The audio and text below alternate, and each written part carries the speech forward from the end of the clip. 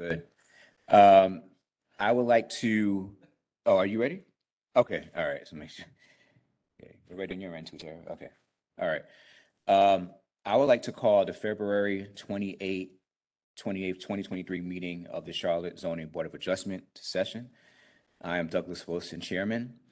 Also sitting on today's board is Deborah Dryden, Tariq Hamid, Hamilton Court, and John Floyd, and all of them are present today.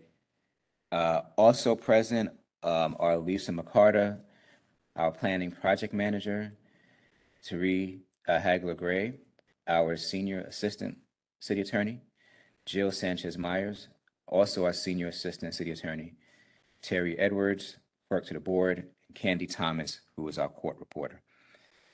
I would like to start by acknowledging that we are conducting this meeting in person, and this is the second in-person meeting of the 2023, in 2023, of the Charlotte Zoning Board of Adjustment. And as always, I'd like to ask for your patience today as we proceed. There may be slight delays as we transition between speakers, participants, and presentations.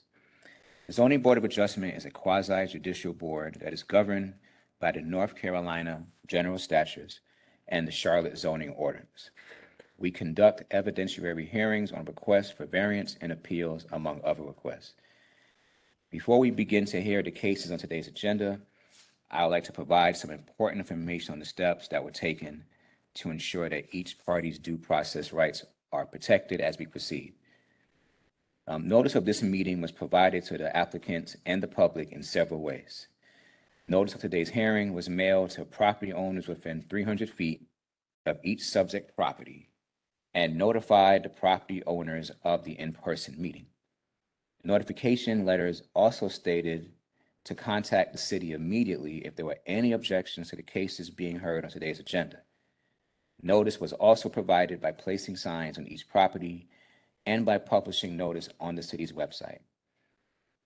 The notice for today's meeting contained information about means by which the public can access today's proceeding.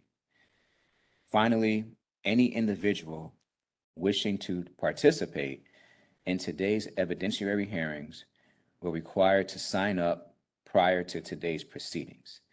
This information was also included on the board's website. The order of the recommendation agenda would be as follows.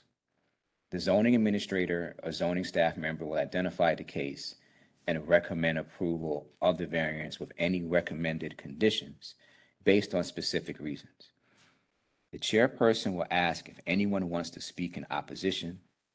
If there is such a person, then the case will be moved to the regular agenda and will be heard at a later date.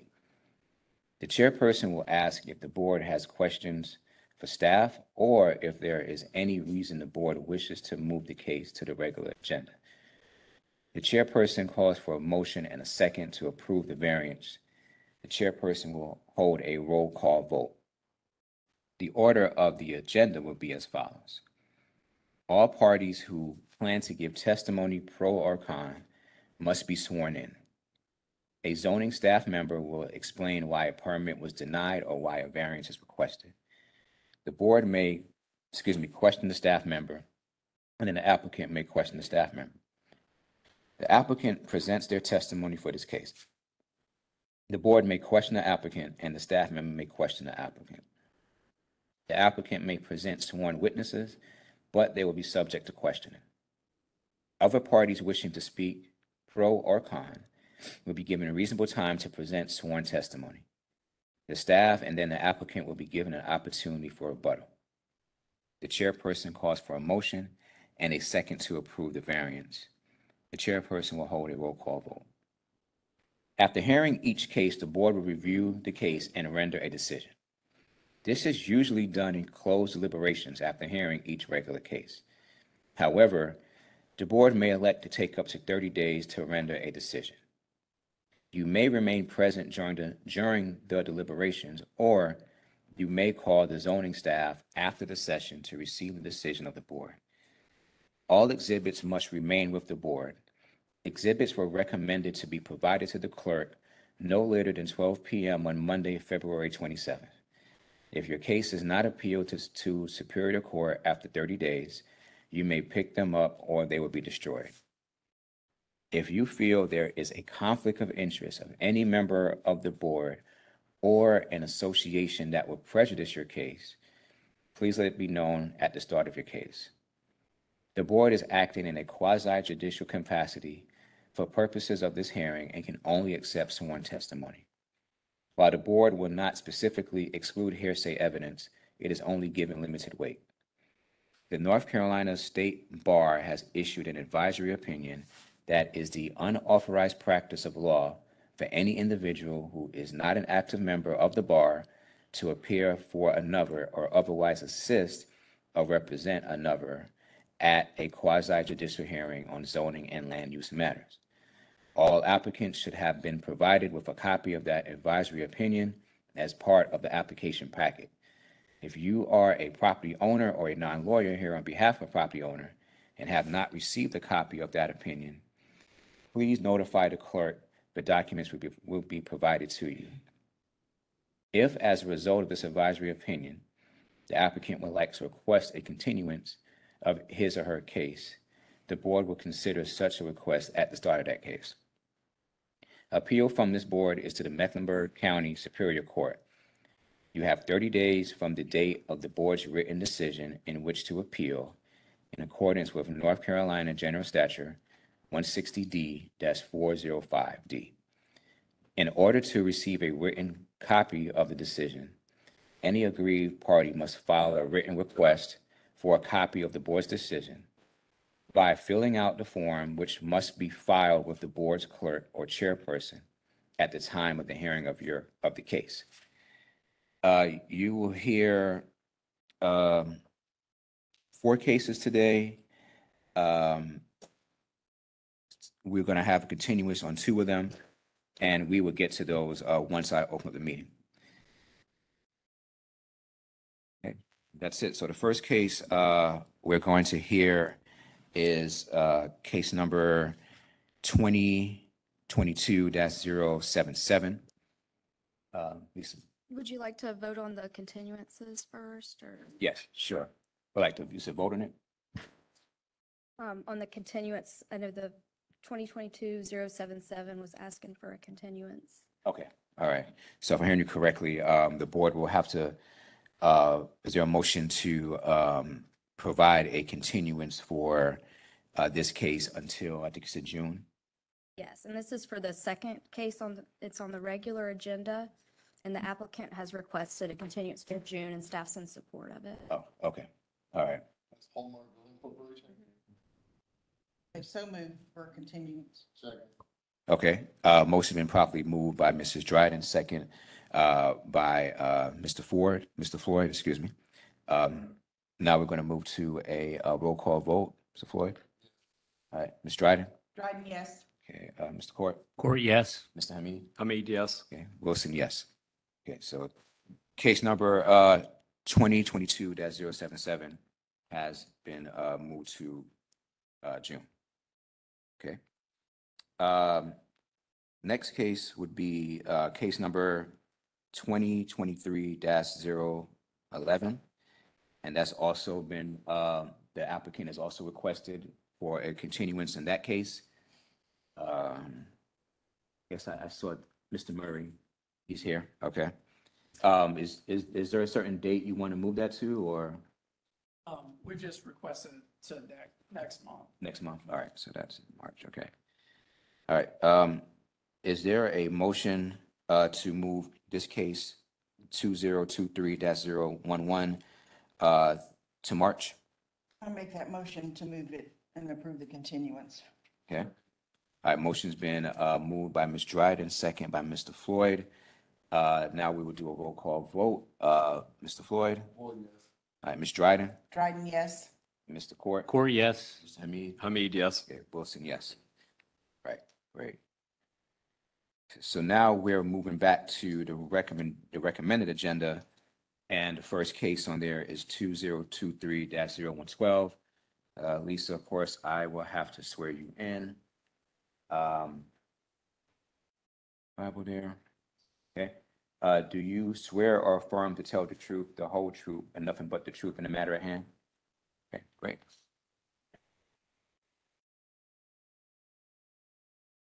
All right, our first case is a residential rear yard variance request. The applicant's requesting a 12-foot variance from the required 45-foot rear yard to allow the expansion of a non-conforming structure in the established rear yard. And I'll give you a minute to look over your findings.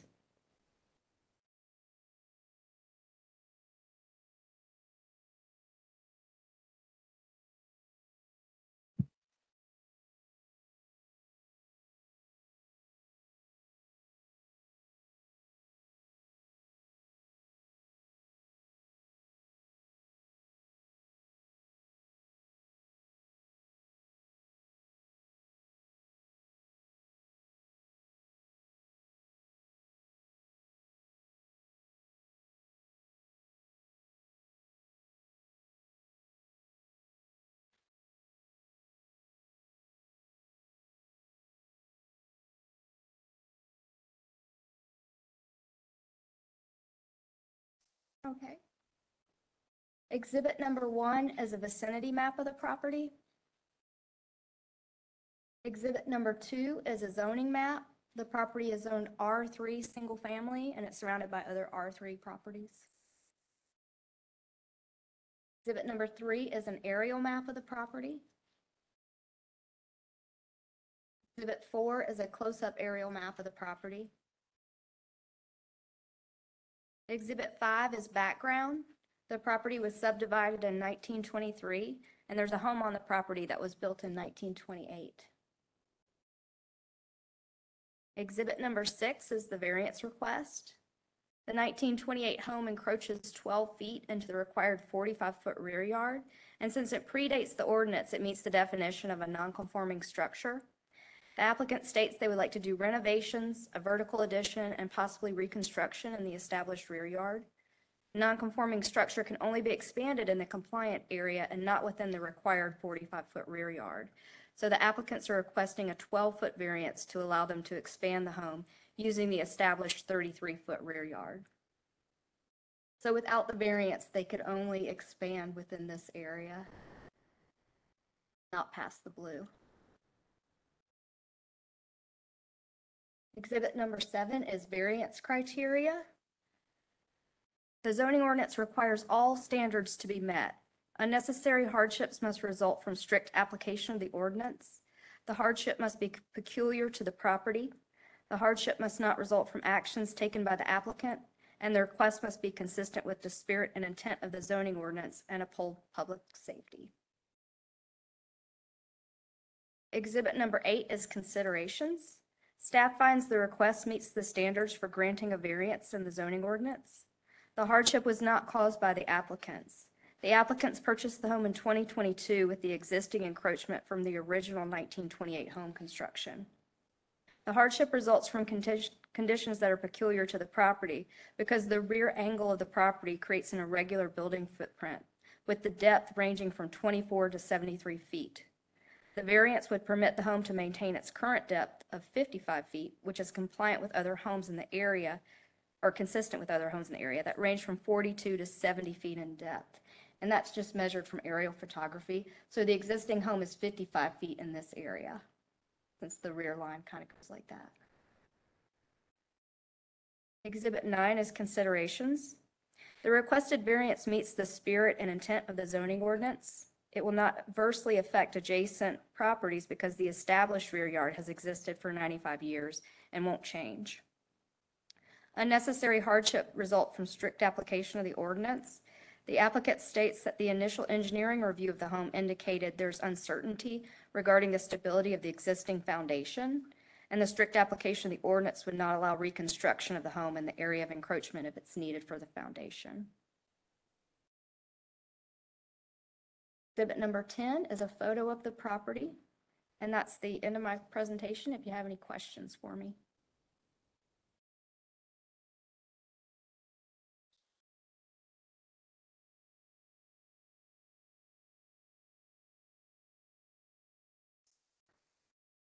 Yes.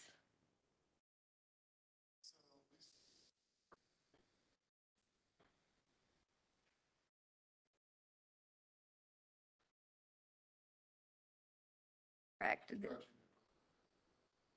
Yeah, the applicant's intention is that the footprint not change, but they're just uncertain about the foundational structure.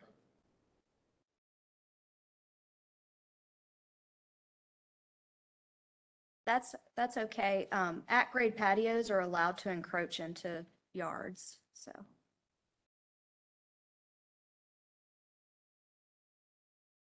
Yeah, the deck can encroach, um, up to twenty-five percent into the rear yard. Um, are there any other questions for Lisa from the board? Okay. Um, Terry, is there anybody here?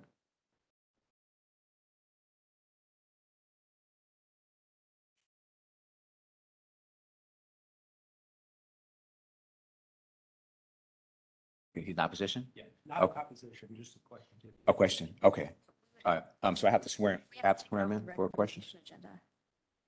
Or do I have to swear him in? It- Yeah, you have to take it off the recommendation agenda. Okay. So I have to swear him in? Yes. Okay, all right, um, if you don't mind just coming to the table here, just have to swear you in.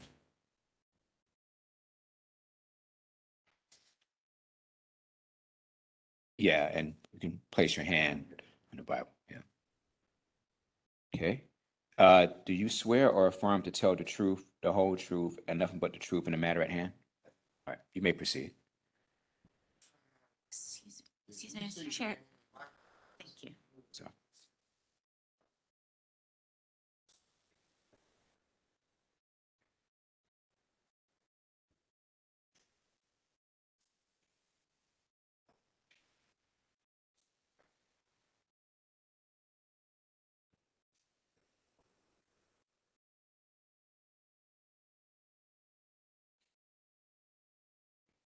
Do you, do you need her name? I need it. Yeah, stay here.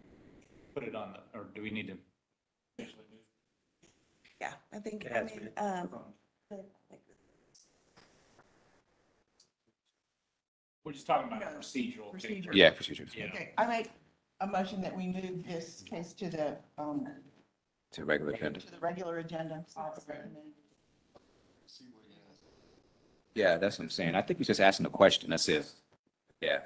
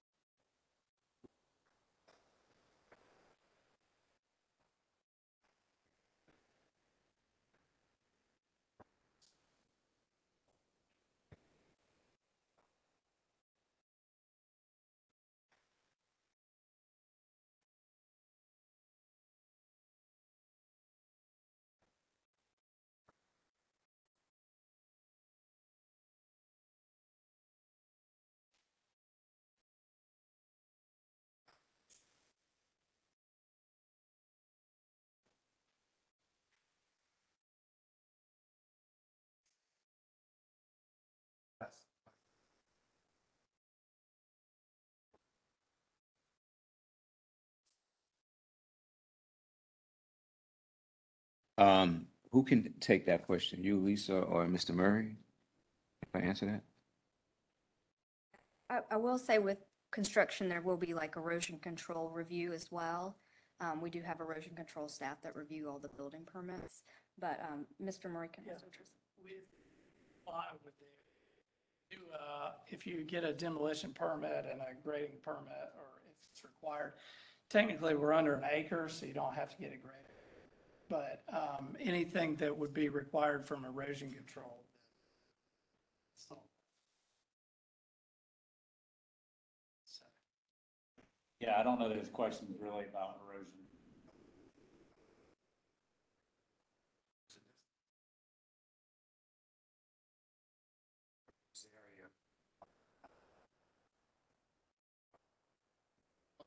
That goes back to my prior Yeah. question. They're not increasing the footprint of the Right, building. so There is no we're, impervious. so the purpose of the variance was because they want to use the footprint that exists to redo this home, to rebuild the home. And so the intention is not to be any closer than 33 feet as the corner exists today. the, you know, we would comply with the, with the ordinance. Um, as far as runoff, I can't tell you if the runoff's coming from this property, if it's coming from next door, I don't know. There's- Right, nineteen twenty-five. Restrictions, calculation. Right, and some of It those, does get flooded. right, okay. So I, I don't know if it's-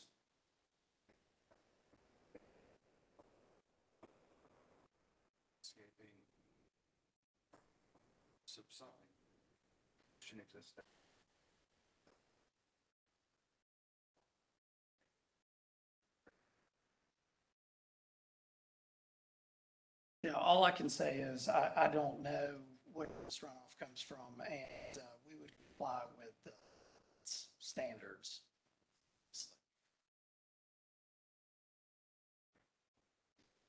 And is, I guess we can pass this information along to the builder. Well, I guess we just need to make sure that the variance um, that we're approving is limited to the existing footprint and not an expansion, because if, you know, if encroachment into that established rear yard is approved, it would, it would, I mean, if we're approving encroachment, are we, are we improving encroachment all along that, to that thirty-three foot mark all the way down the property? So if they wanted to enclose that deck, if they wanted to, uh, you know, put heated square footage where that deck currently is, would that be permitted when we granted this variance? Correct. You would essentially change the re- required rear yard. Right, so our approval wouldn't limit them. Their intent may be to limit to the existing footprint, but our approval would not limit them to that.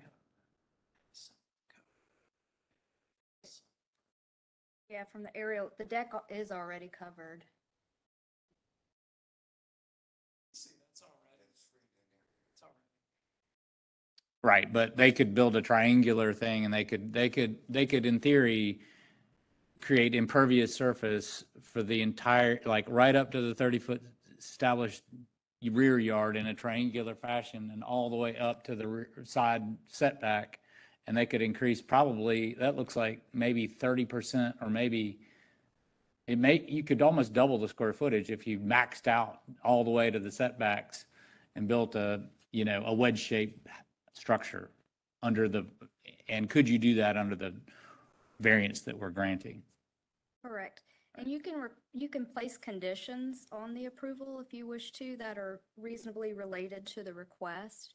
I think in the past, there's been conditions that, you know, it uses the existing footprint, or I think we've had a French drain or other types of runoff measures. So on the deck, the deck is exempted whether it's covered. As as long as it's not heated. Uh, cover for that. Yeah, Lisa, am I correct that under the ordinance, if the owner wanted to, they could essentially create a brick patio, some kind of impervious surface at grade level All throughout that entire area? Yes, It would not require a variance to do that. that's correct, because it's not in a watershed overlay area. That's right. And also in the UDO, five feet of this variance would be forty feet. So the variance we're asking for is twelve feet.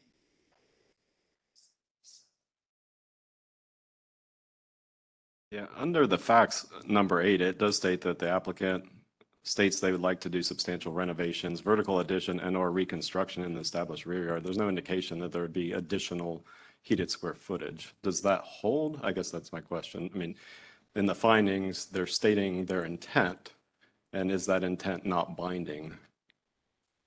The variance would just be for 12 feet from the rear yard, so it would set a new rear yard for the lot. So, um, would, the permitting staff would go by the,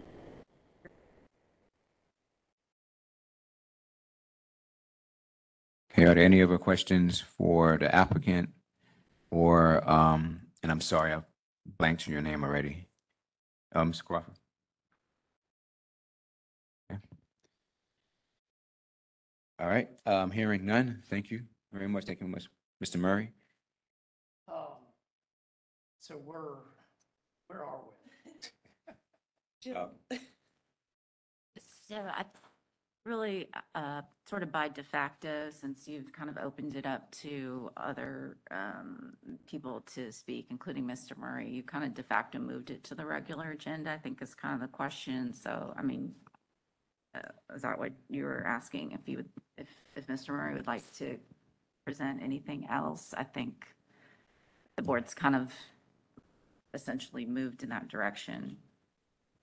I mean, I may be at, wrong for saying this, but in my opinion, since it wasn't an actual, um, he wasn't testifying against it, he was just asking more of a, of a, um, architectural question. I think it can stay on the recommended agenda. Yeah, that's what I was saying, yeah. No. Yeah. So, No, because unfortunately, there's not any evidence that was really presented from that testimony. That was not, I mean, I would have to object to that as not being evidentiary, so. Uh, Mr. Murray, while you're here, accept the condition that to the existing footprint?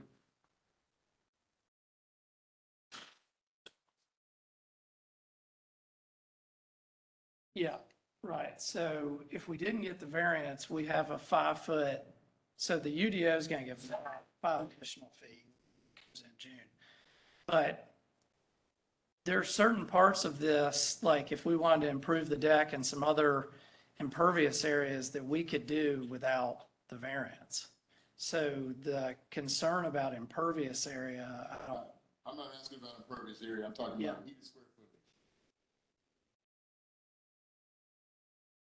for the encroaching area, Yeah, Yeah, um, I don't want anything that limits us under what we can do under the UDO.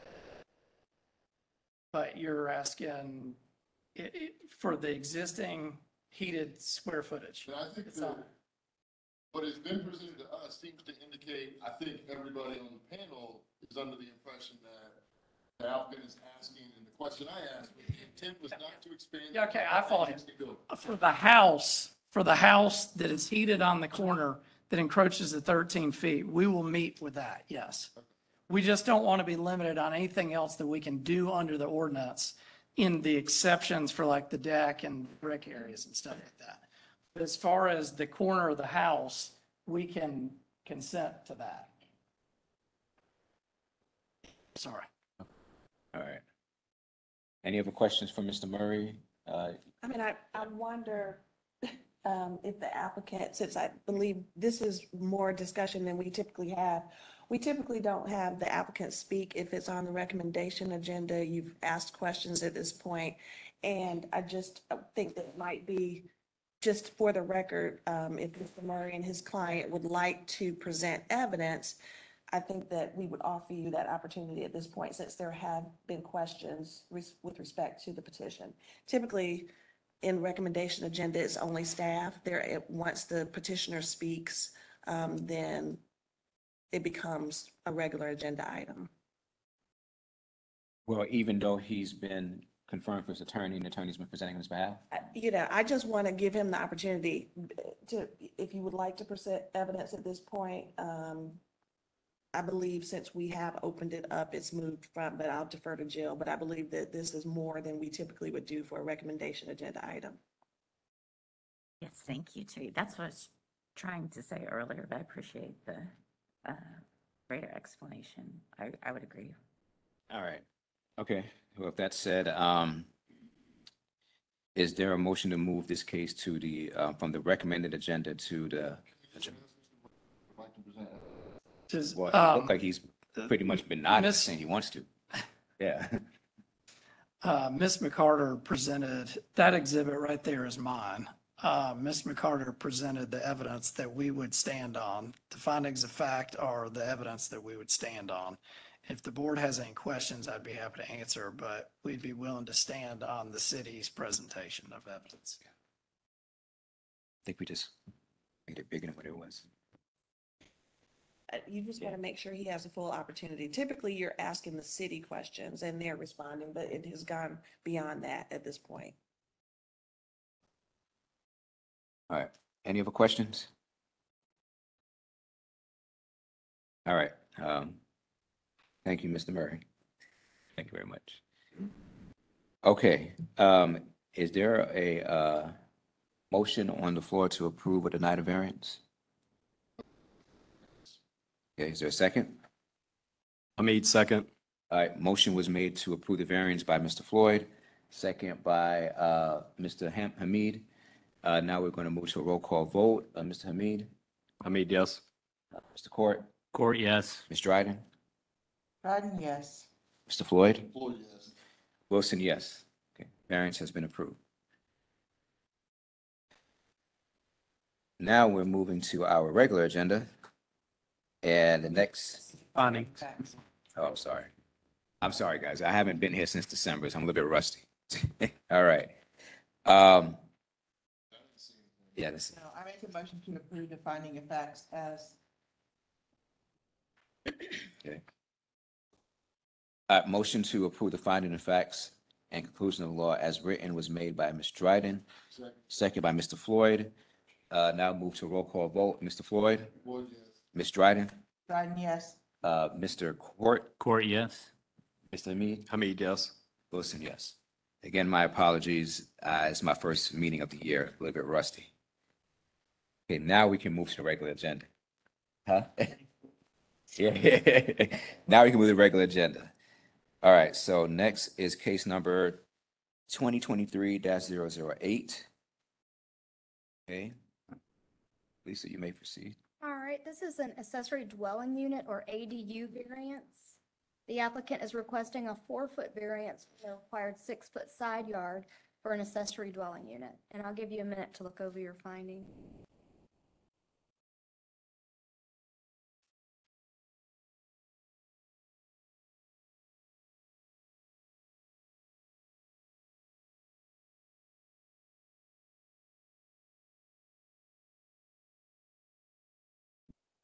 Okay, Lisa, you may proceed. Exhibit number one is a vicinity map of the property. Exhibit number two is a zoning map. The property is zoned R3 and it's in an area of R3 zoning.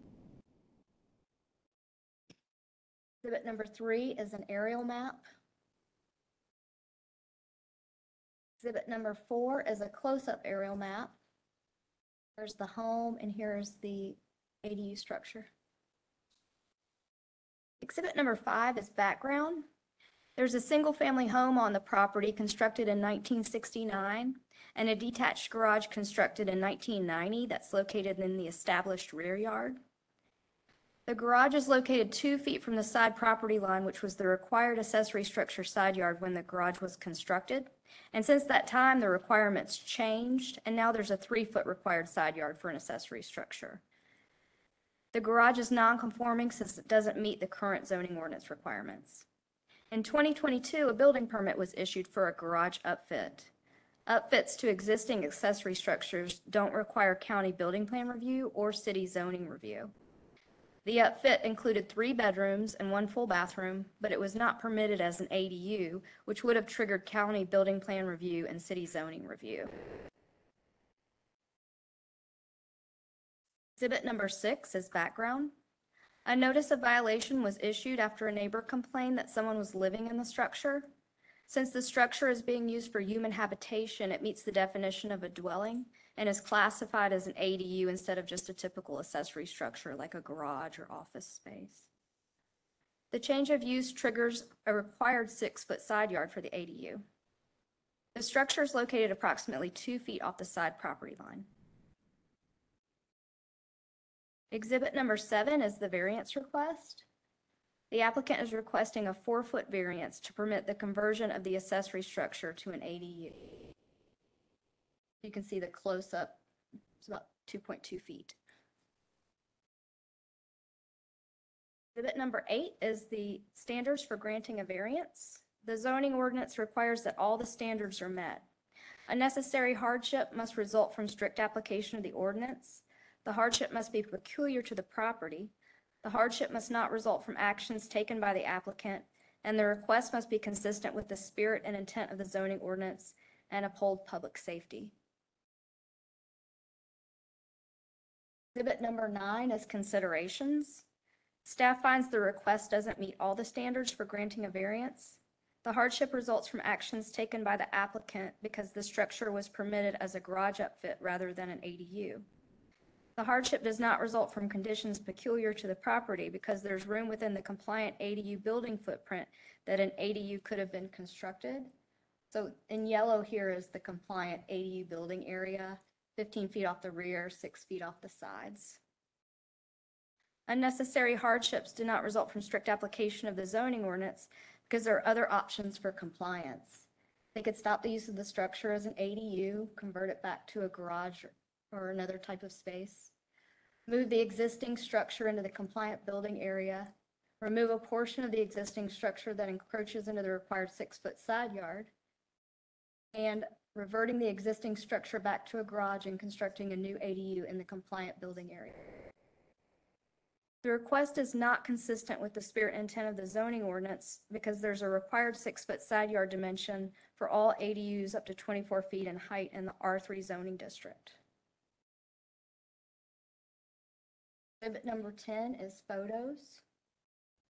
And that's the end of my presentation. If you have questions for me, and we also have the applicant here and folks signed up to speak. So. So Terry, um, this applicant? Yes. Do we have anybody in opposition? Yes, sir. Okay. And, uh, before I swear, um, the applicant in, does anybody on the board have questions for Lisa? So Can you explain to me, it's in the findings of fact, state that the the structure. What, the plan, what does that mean? So that means, I guess through their permitting portal, the county gets these applications submitted. Yeah. And if it says garage upfit, they just don't look at plans. There's, doesn't trigger a zoning review. Um, if it was permitted, if it came in as an ADU, then it would have triggered all those things. Well, what is an up, what is, what's the definition of an upfit? It's, um, what theirs was, was converting unheated garage into a heated area, heated and cooled area. Is that what, on the application that they submitted? Yeah, so here's some pictures of the application. So they submitted as a garage upfit. So it did say um, to divide heated area into three rooms, one full bath, and a hallway with electrical and plumbing connections as needed. But it wasn't permitted as an ADU. So I guess if you were upfitting a garage, um, maybe your garage didn't have electricity and plumbing and you wanted to add electricity and plumbing, so that would be an example of a garage upfit that would not be an ADU renovation. So Okay. some people do it for home gym space or office spaces. But in their application, they actually indicated that they want. Correct. They just, they the ones that selected garage upfit when it. But I, I don't have that information. All right, so, um, do you have another question for? Yeah, what, so the variance, um, what, what is the number? What, how many feet are we talking about?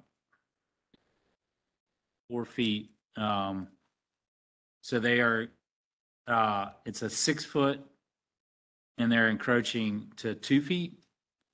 Okay. I, are we all, are we typically measuring from roof eaves or walls?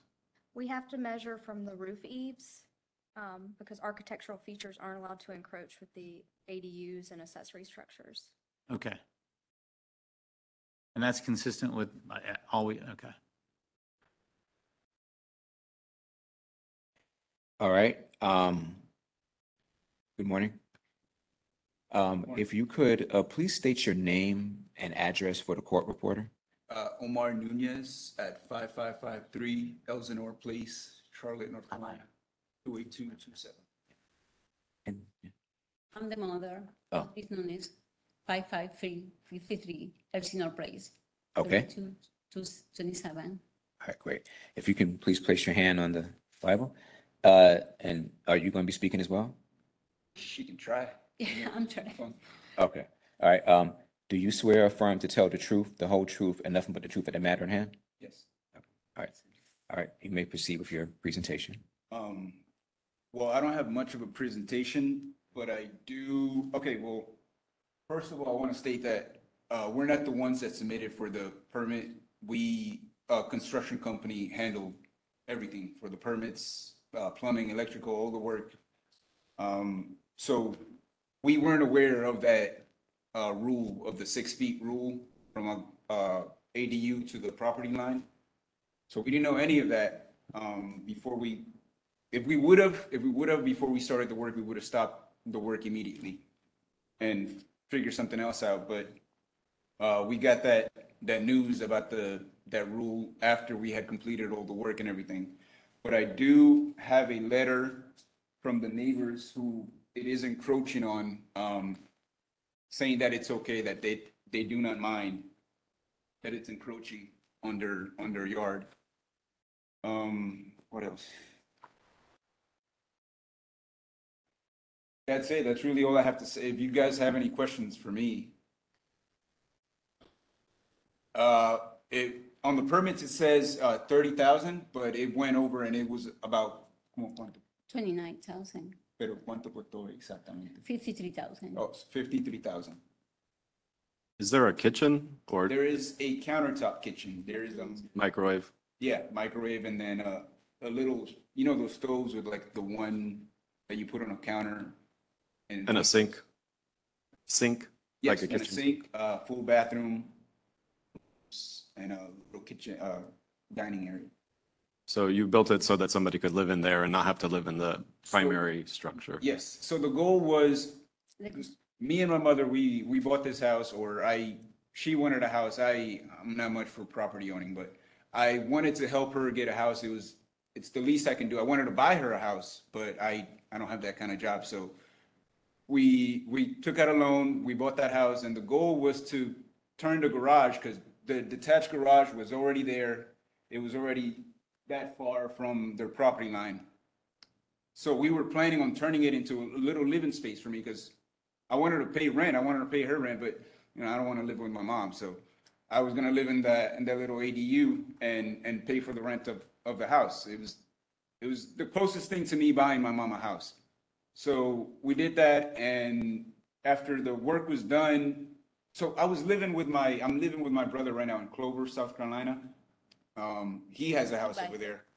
And he should have been married by now. It's, it's already been a year. He was supposed to get married and, because I'm, right now I'm splitting the mortgage with him. He can't pay it all on his own. So he was supposed to be married so they can move in together and I can move back over here.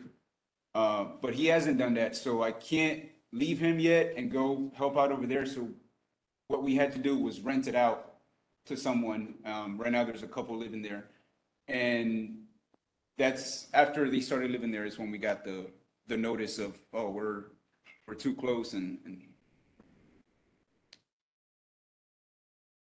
that's, that's all. On a lease? versus like a It's, it's a lease. It's a lease, yeah.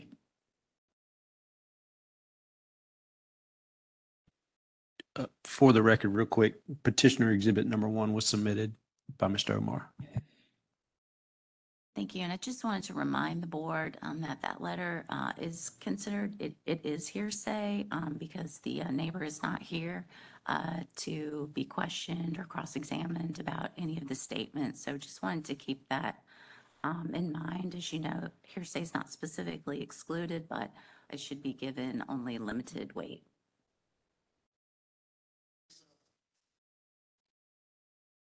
Say there was no encroachment.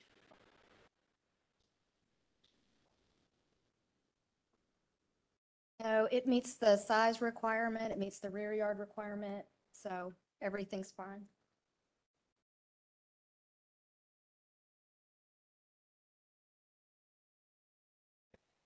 Any other questions for the applicant on the board?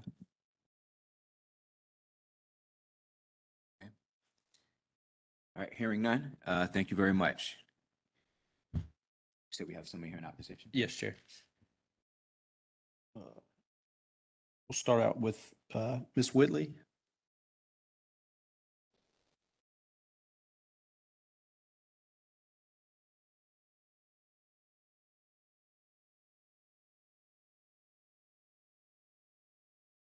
All right, good morning. Good morning.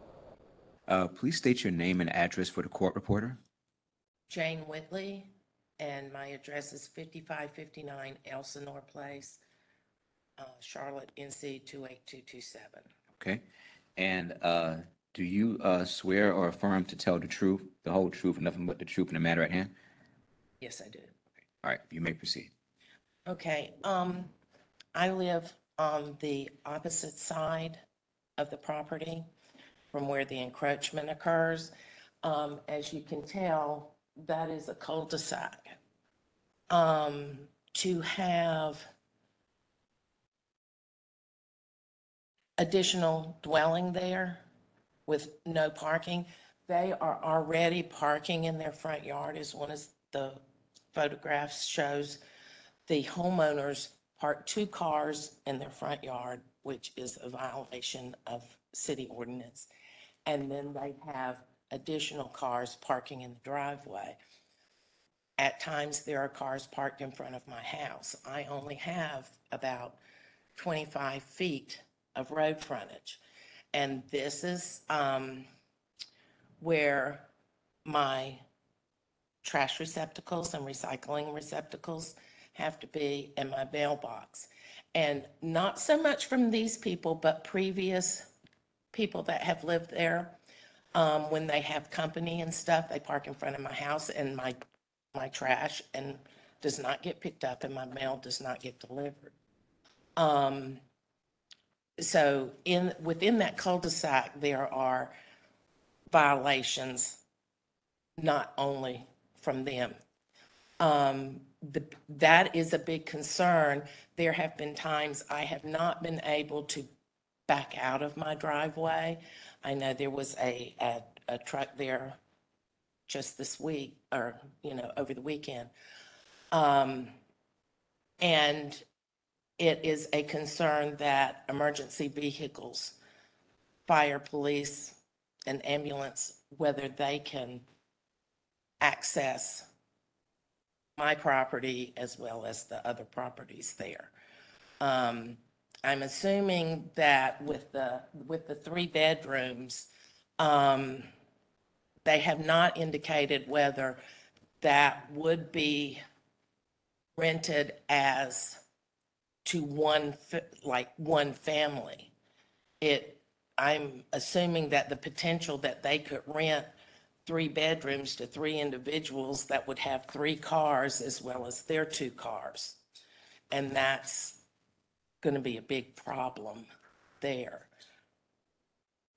And that's my only, you know, that's my biggest concern. Is from a safety standpoint. Um, Before you uh, Oh, return to your seat, I didn't know if any of the board members had any questions for you. When you said you live on the opposite side, can you just clarify, you live to the north of that red star, like up? Up the big barn. Fifty-nine. Thank you. Yes. See it, all right.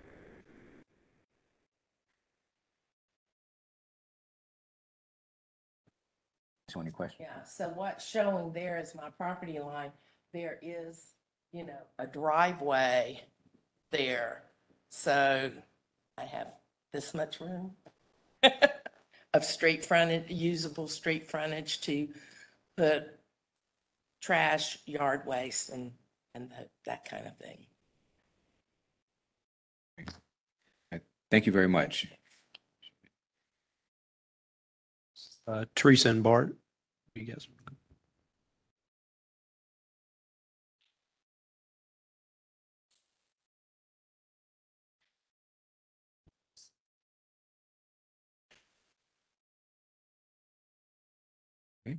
Uh, Good morning to both of you. Um, Before I swear you in, if you could please give your name and address for the court reporter? Uh, my name is Teresa Riek, R-I-E-K, uh, fifty-five forty Elsinore Place, Charlotte, two eight two two seven. And I'm Bart. Riek. Same address. Okay. And um, you can place your hand on the Bible there. Uh, Do you swear or affirm to tell the truth, the whole truth, and nothing but the truth in the matter at hand? Yes. You may proceed. I think uh, uh, Terry's pulling up your pictures now, so. Okay, what I, what I'd like to do is kind of go back to the beginning a little bit on this because some of it's slightly misleading. Um, Where the surveyor's map that, that we that you had up earlier and the inset that showed the three foot to the front left corner of the garage and two feet to the front left corner of the eave. Um, When they, when they purchased this property January 21st of 22 and did not immediately move in, which always kind of flags as odd because normally people buy a house and the first thing they do is, you know, they're moving in. Um, shortly after, I don't know how long, maybe a month after they moved in or after they purchased it, contractor showed up and started working on the garage. Now, the application that they submitted says that it was an existing heated area. And I sent pictures that show, it was actually, there's another, I sent another one. Uh, while you're here, let me show you one thing. If you look to the left of the garage, there is nothing in the yard between that fence and the garage. Okay? Do you see what I'm saying? There's nothing there. It's, it's just, There's no heating in there yet. there's nothing there. There's a, a fence to the back and then that building back there is on the property behind them, okay? This here is a tiny little wood fence that the old man that lived there when he purchased, when he built the garage, he, because it slopes off. So he built that there for kind of protection for him and his wife, okay? Um, and as you see here, there's nothing behind the, the garage, there's nothing to the left of the garage as far as a heating and air conditioning unit. There wasn't, it was not a heated structure. And ironically, I took this picture, if you scroll back out for a second, on December 10th of 21. And it proves that it was a open studded, simple garage. That back wall was a false wall with a door. It was his tool room where he stored his tools. That's all it was. Um, in March of 22, I am the one who called building code because they were converting the garage, they converted the garage, they didn't upfit the garage. It implies that it was already a heated structure, which it was not. There was no plumbing to the structure. And the only electrical that was going to that structure was one 25 amp line that went from the house electrical panel through a PVC underground and back up to the right front corner of the garage. And right there, you can see in that front corner, there's an outlet, and that is where the, the electrical came into the garage. And that 125 amp line was for two light bulbs and two outlets, one of them which the garage door opener plugged into. That's all that was in that structure. Um, so in March, I called the building codes because they had converted it to a three-bedroom apartment and there was no building permit. They had not applied for a permit. Um, and the, what they're stating in their application is that the city didn't tell them what they should have done, otherwise they wouldn't have spent all that money. But the city didn't get involved until March 30th. That's when they showed up and put a stop work order on the door and told them, you have to apply for permits. You can't just come in and build a garage or build an apartment without the proper permitting. So the fact that they claim in here it was a heated structure is misleading. It was not. The next picture you're going to see, there's the AC unit that they put in for this garage. You see it there on the left, between the fence and the wooden fence, if you will? That right there is the air condition, heat, HVAC that they put in for that garage. The pad of that unit is actually pressing against that fence to the neighbors next door. It's actually, there's no side yard. You, there's no way you can get between the heating and air, the HVAC unit and the fence to go around. So on their application, it says they're actually requesting, what they've written on their application is that the code requirement is a six-foot side yard. And what they're requesting is a four-foot side yard, which is a two-foot reduction from what's required. That's what they've asked for.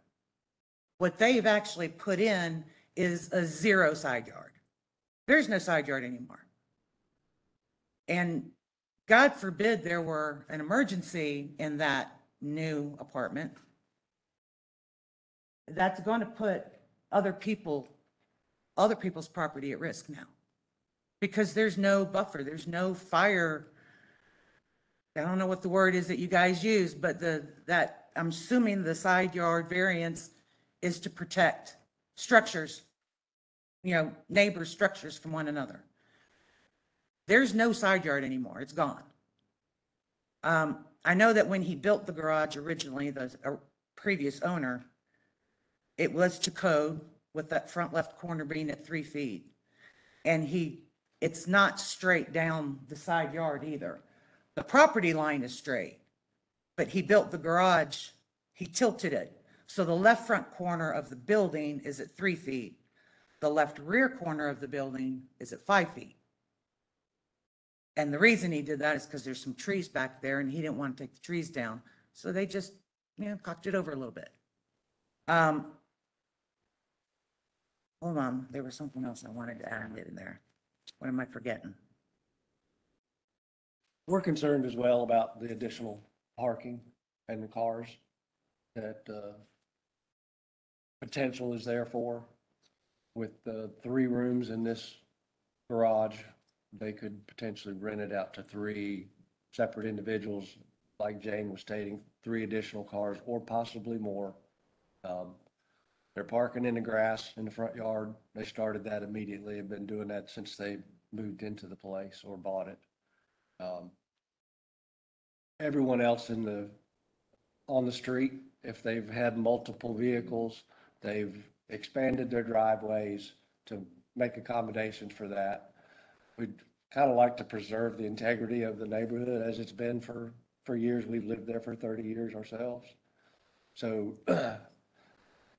that's a major concern. Um, Jane stated the safety issues. Uh, If we get three or four more cars in there and they stop parking on the grass, then they're going to be parking in the street and severely restrict the access to that cul-de-sac. Uh, So th- that's a big concern to us. Um, From what we can ascertain from the packet that we, we received from you guys is that there's currently no um, CO, certificate of occupancy, been issued for the structure. There's people living in there already. Now, this isn't a potential to rent. They're already, there's people already live in that ADU So. without a certificate of occupancy. We have concerns about the way the whole process has been done. Um, doesn't feel, feel to us like they've done things in a proper manner. Kind of circumvented some of the rules, not paying attention to, um, what should be done. The city, uh, notice for this meeting was the yellow sign they posted in the front yard. Um, Was put up on, I believe it was Thursday, the 16th. They immediately took it down. Fortunately, one of my neighbors got a picture of it before it was taken down, or we wouldn't even know about this. It was taken down the same day it was put up. The city put it up, right? You guys, somebody from the city goes out and puts a sign in the yard. And just so happened that one of the neighbors saw it. And she took a picture of it and it came down immediately after she took that picture. So a lot of people on the street don't, don't, don't even know that this is going on. Yeah, we'd had more neighbors here to protest this, but I just didn't have the opportunity. I've been working six days a week, twelve hours a day. I haven't had the chance to talk to any of them to try to get more support for opposition to this. Um,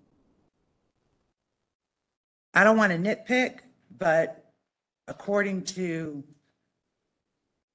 the violations that were issued on this, section twelve point four oh seven says that the pedestrian entrance to this ADU shall be located to the side or rear of the structure.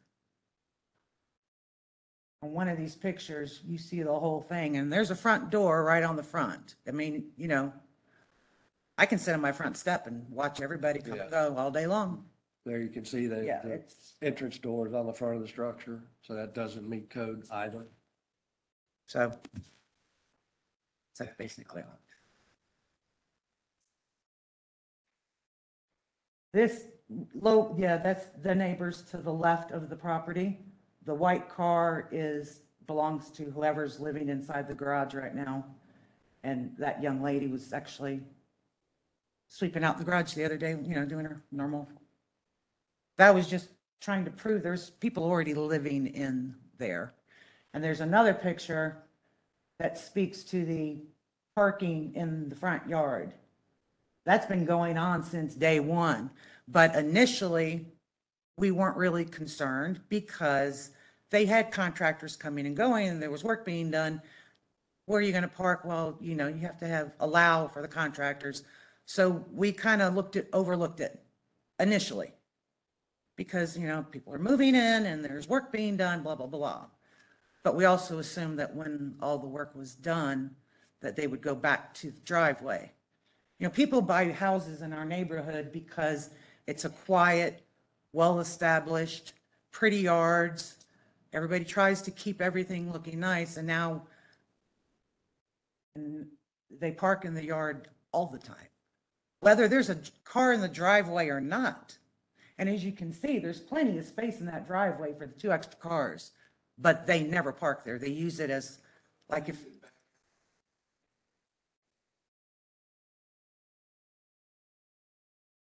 So, you know, the driveway, from the street to the house, the driveway is used as an aisle, like if you were at the grocery store.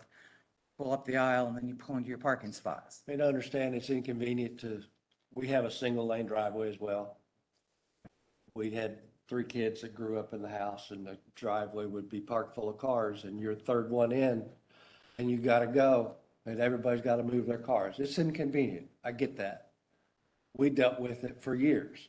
That's just a, But we Facts still of deal life. with it. We have two cars. He goes to work, I don't. If I come in after him in the morning at five o'clock, I better be out there moving my car. So that's, I mean, you don't, you just, you do what you have to do. But we don't park in our yard. We There's don't just- park in the grass. there's multiple things that, objections we have. A lot of the rules seem to have been circumvented, misrepresented. Things don't meet code. The parking issues, the additional cars that are going to be coming in.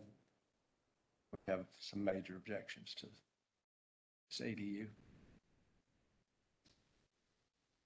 Violation.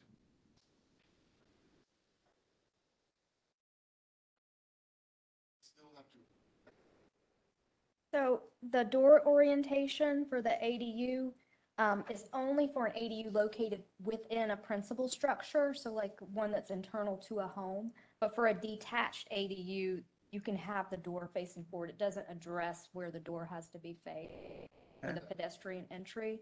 Um, The HVAC equipment, um, if the board were to grant the requested variance, that would be taken care of by the um, new side yard because HVAC can encroach up to fifty percent.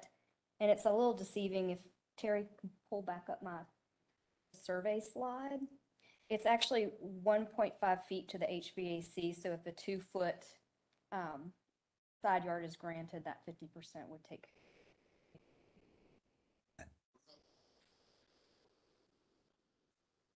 Still need to get permitting if, if the need to get permitted as an ADU.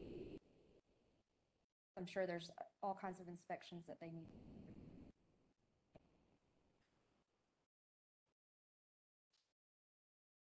The driveway has to be the same as the principal structure and there has to be one space.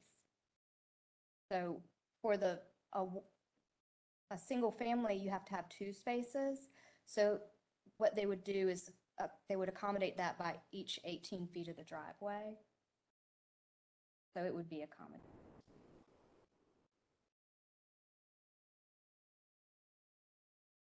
But by city ordinance, that's um, separate from the zoning ordinance, you, you park in an unimproved area. But that would be a separate And I would just like to point out that this drawing is very deceiving, as you saw from the actual picture of the AC unit. It says that it's going to encroach into it by 50%. But there's no side yard anymore. You have building, AC, fence. It's on the fence.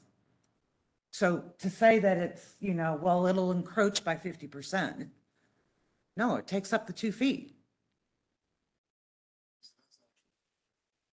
This is the survey and it's measuring to the property line. So if you see the HVAC is 1.5 feet to the property line. And the, um, they're requesting a two-foot side yard. So 50% of the two-foot would allow the HVAC to be up to one foot from the side yard. So they would be within that. I don't understand what that Oh, that, yes, it is a certified survey. I'm sorry. Application, yes, in their application, it's, hold on. This was the variance application zoning ordinance that they filled out on December 29th. Um, hold on, let me find the one that says. What does it say? It's page three of three. It's the last boxed note. It's not something. Uh, page three of three on the building permit application, under where it says permit note. Oh, yeah, under the permit notes, page three of three. Says to divide an existing and heated area into three rooms. Our concern mainly is, from what I've read, and their objection that the city should have told them, or they wouldn't have spent all this money. I don't know how much money they'd already spent before the city ever even knew they had gone in. So when the city inspector came in and stopped the work, I don't know how much of it had already been completed. I do know that there was already insulation all the way throughout. And, and the um, Divided. interior walls, studs had already been constructed. That's when we called the city and complained that there was no building permit. The garage door was already gone and the front wall and the new front door was on the building. That is how the city inspector found it. And so as far as the permit notes, notes saying that it was an existing heated area, I do, I have no idea what the inspector was told. Obviously, I didn't go across the street and ask him. But that, it wasn't that.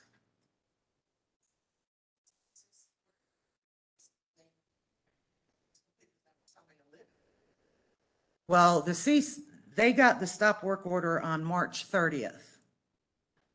Um, and then, and then they had to apply for permits and whatnot. Um, We had what I'll tell you is this, on the day the inspector came out and put the stop work order on, he left. And the contractors and whoever else was there stood around and waited for about five or 10 minutes. And they went back into the garage and continued working. I called the city back again that afternoon and told them. And the man on the phone was, well, yeah, we already have this information. The inspector's already been out. I said, I understand that. You're not hearing me. The inspector came, put a stop work order on the door. They waited five minutes and they're back to work. They're working as we speak. I can hear the drilling and the, the guns and, you know, everything going off. Hammer. The hammering, thank you. So then the inspector came back the following day, I believe it was. It was a day or two later, he came back. And then they actually stopped and the contractors were slinging their tools and material in their trailer and they all left. Very shortly thereafter, several days later, the contractor came back and that is when they started working on upgrading the house. So they hadn't even moved into the house yet. They went straight into the garage. Did I answer your question? Okay. Yeah, I, you know, I think when we're talking about hardship and we're talking about um, constructing under the assumption that they're doing something legal, I think it's, I think it's important to have that in the findings of fact. Is there any, um, do we have fa- factual information we can put in the findings of fact about the timeline of the, or the, the stop work order specifically, maybe? There was no record of a stop work order. Okay. There is a case number from the zoning notice of violation that 2022 0057372, which was from 22, not 23. Um, And on the application, actually, it does say, oh, let me go back. It's not there. It's here. On the variance application zoning ordinance, page seven at at the bottom, and they're referring to, um, on, on December 29th of 22, and they refer to that case 2022-005-7372. They had to check off, has work started on this project? They checked yes. Did you obtain a building permit? It says yes. It's slightly misleading because the building permit didn't come until after they started working on the project. But then the next one is, have you received a notice of violation or stop work order for this project? And they checked yes.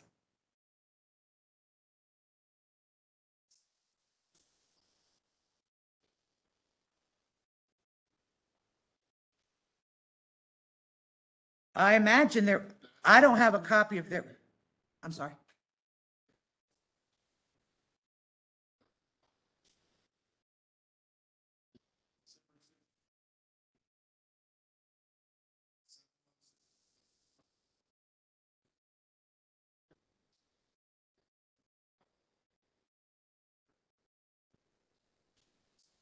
But the notice of violations is separate from the stop work order. So they, they, they came in and they were working without a permit from, this is how, this is the timeline as I, as I see it, but. Right, right. Well, I think the way that, the problem I'm having is the way that it reads here, it looks like the, uh, a permit was issued in error or, or it, it's, it, it implies that perhaps, and that, and that speaks to the hardship of them having to rip it out or, or, or whatever. Um, and without, but I don't think that's, but that doesn't really feel like it represents what, what happened. I feel like there's some facts in here that are missing that make this, make the way it reads sound differently than the way it went down, I guess.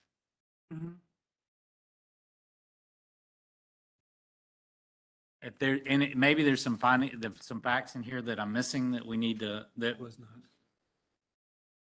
No, okay. As you all were deliberating, I uh, here found that there was no record of a stop work order. If you want us to share that on the screen. You have it? Hmm? Oh, there is a stop work order. There's Okay. not. Oh, there, okay. It's not, okay. Sharing that there is no. All right. So just for the sake of time, I know we have some other people to speak, and I'm sure maybe the applicant may want to come up after that. Um, are there any other questions for, um, uh, the neighbors here? Thank you very much. You might want to, if the applicant wants to ask the neighbors any questions, um, they have that opportunity No, also. he, he just, he just said no. He Said no, yeah. Miss D? You come on Last one, Douglas. It's the last one? Yeah. Okay. All right. Good morning. Uh, please state your name and address for the court reporter. D. Austin, and I live at fifty-five forty-eight Elsinore, so I'm across the street. Okay? And, uh, do you swear or affirm to tell the truth, the whole truth, and nothing but the truth in the matter at hand? Yes. All right, you may proceed. The concern that I have agreeing with, uh, Ms. Whitley is the parking, mainly the parking.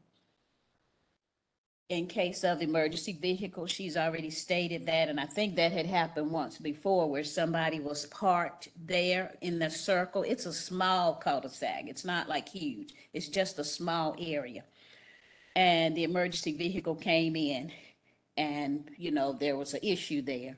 We've also had, you know, seen the huge recycling truck trying to turn around, the trash trying to turn around in that circle. And when cars are parked there, it's hard for them to do it. So my question is, where are they gonna park their cars? If, I mean, are you gonna expand the driveway to, and, you know, lay some concrete down in the front yard? Yes. That's my question. Yeah, since you're already parking there, make it a a bigger driveway. Um, and will that be done before, you know, three people move into the place? Uh, three, three different people with lots of cars? Well, that's, that's not, it was just for me. It's just for me. I can't move, I can't move in yet, so, mm-hmm. um, we had to rent it out and right now there's only a couple living there, like, it's, it's actually mm-hmm. two men and they're living there. Yeah, so that's my, Oh, and they don't have a vehicle right now. okay, yeah, right now. Yeah, so I'm just concerned about parking and safety in that area. I mean, is this gonna up your property value? I mean, the property value gonna go up in the whole neighborhood? or- I don't know, but I'm opposed. Due to the parking and the safety, I'm, I'm opposed. Thank you. Um, anybody on the board have any questions? All right, uh, hearing none. Um, Mr. uh, Nunez, am I saying your last name correct? Did you want to have a chance to that?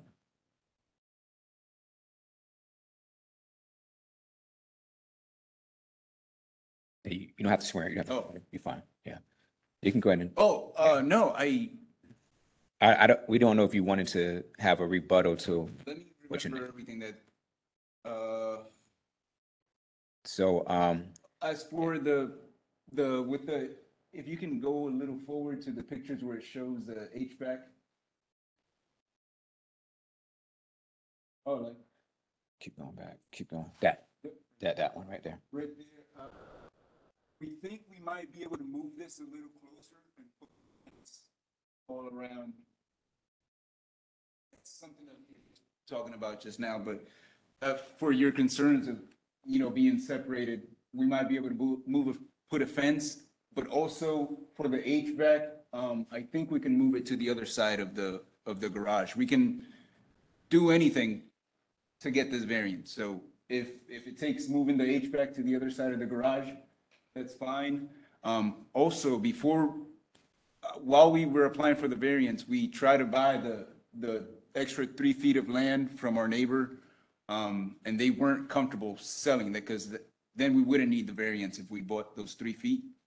Um, or four feet, I think. And they weren't comfortable because it was gonna make everything messy if they try to sell their house, um, later on in the future. It was, it was just gonna get everything too convoluted. So they weren't comfortable selling, but that's why they wrote us this letter saying that they don't mind. Um, Forget what else, what other issues you guys had that I, I could address. Uh, they had a lot of Parking, issues with the yes. parking, yes. Um, As you suggested, we, we can put cement down on, on where we're, where we're parking on the other side of the, of the driveway. And that is, that's something that we can also do. Um, do you have a question? Yeah. When, the- I see that when the building permit was issued, it was issued as a garage upfit. Was it Yes. always your intention to have people live there? Yes, it was always our intention. Why did you let your contractor put it as an upfit? We, we don't know the whole process. We, I'm just a regular Joe. I don't know what it takes to, to get a permit or build a garage. Ultimately, you are the property owner and you are responsible for that contractor that is on your property and what he permits. Right. And, I mean, all, it says the upfit and upfit and upfit. And it says occupancy, residential, single family, but you can't have a, a, a single.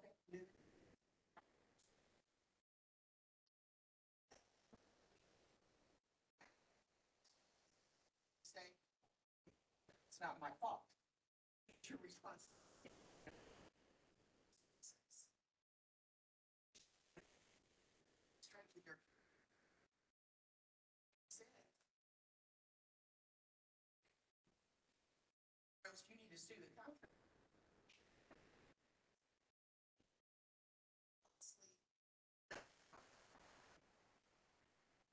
yeah, that'll be our next step.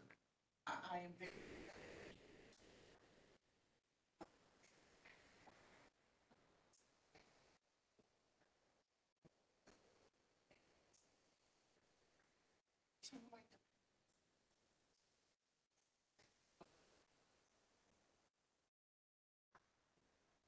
That's something that you think about. It's not theirs. It's Someone living in the main house. Because right now it's, I don't live there, but my sister's there, my stepbrother's there, my brother, my, well, no, my- yes. I know.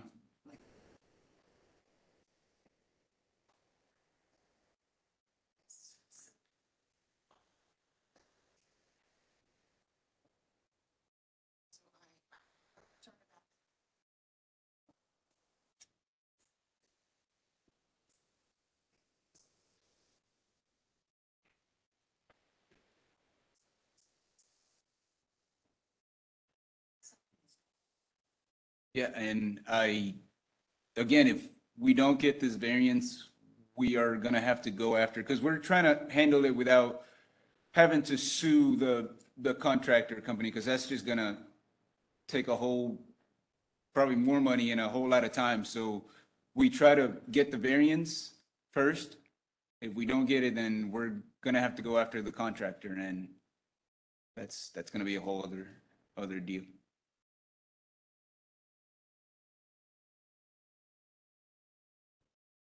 Does any other board members have a question for Mr. um, Alvarado? And uh, I don't know if uh, folks in opposition, if you want to respond to anything that Mr. Alvarado just said. Nunez. Okay, I see Alvarado. I have and- two last names. Yeah, yeah. Yes, ma'am. Parking, like, some distance be there. Apartment, so that should.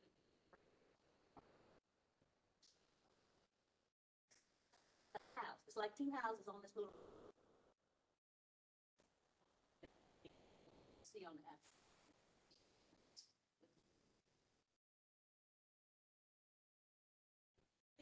app. Again, we, we Yeah. weren't the ones that filled out the application for the permits. It was all the contractor. They, they handled everything.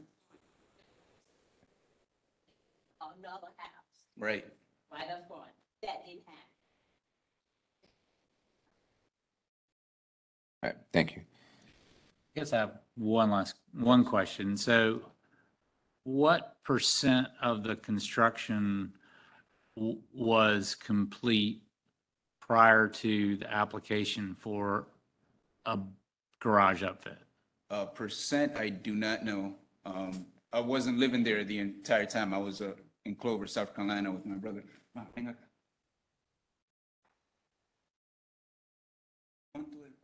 Por ciento de estaba terminado? Eso. Empezaron a trabajar sin permiso, Sí, pero desde que se. Nosotros pero ¿cuánto estaba Puro. terminado? nada, solamente tenía la, las divisiones. Okay, um, she's saying some stuff, the dividers, not sure what that is. Um, but yeah, there was some work done. Again, we, I, I thought only inside, if you're doing work inside, you didn't need a permit to do work inside. That's, that's what we were under the impression of. But yeah, once, oh, and once they told, put the stop work order, we, they didn't go right back to work at five minutes later. They went to get everything out and, and start gathering their stuff. So it sounded like they were working, they weren't working. And so there, there was a operable door, garage door, right? And so was the exterior wall that infilled the garage door, was that started or? I have no idea. Dile que por-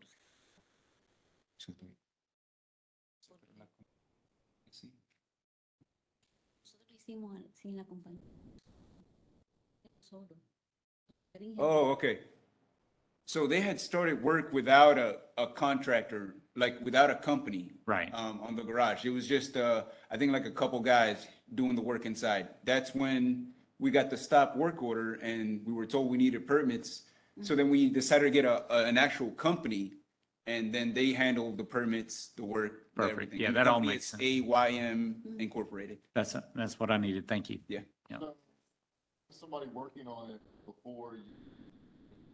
I think a couple weeks, like it, it was not that long, unless that's long for you guys, then it was a couple weeks.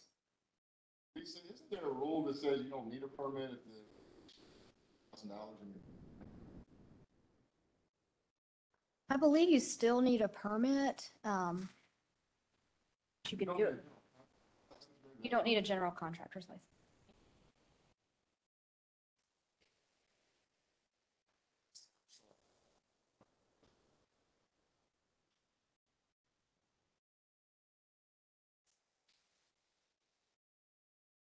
Um, I, I think I got, I think I feel pretty comfortable with all the information I have. Okay. Are there any other questions for the applicant, um, from the board or from, I'm just calling you guys the neighbors. and I don't want to say your opposition, you know, but the neighbors. Um, I don't know if any other questions for, uh, applicant. Good, okay.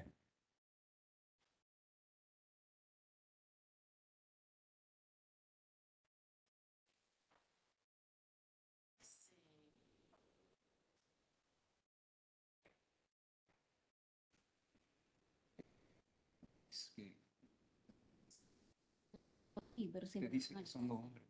No, es un hombre y una mujer. Might be. Hombre y una-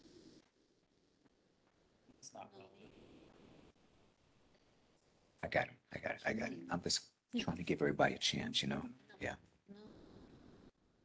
Yes, we got a copy. Uh, it is not two men living there. She said, the way she said it in Spanish made it seem like it was two guys. It's actually a, a couple, um, a man and a woman, and I'm guessing they have a child too. Yes. All right, great.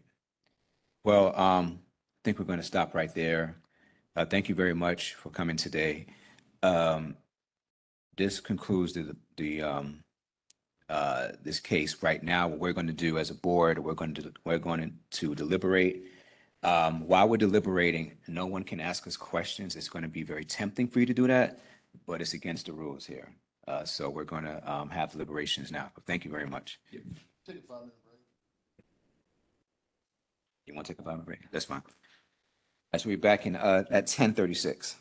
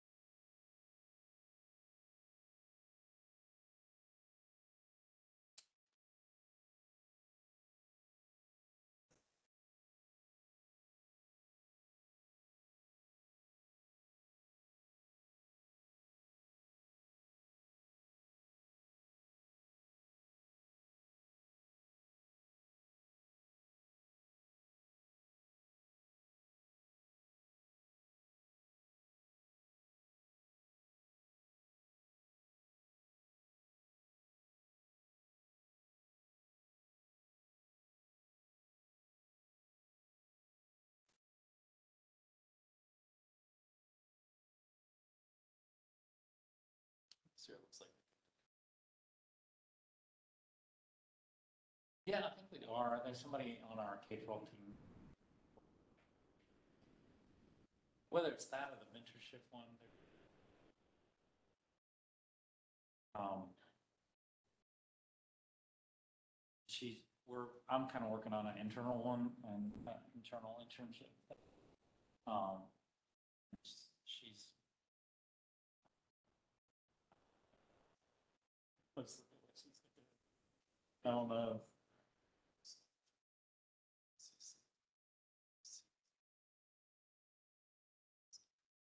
No. Um, trying to plug into the iPalace program.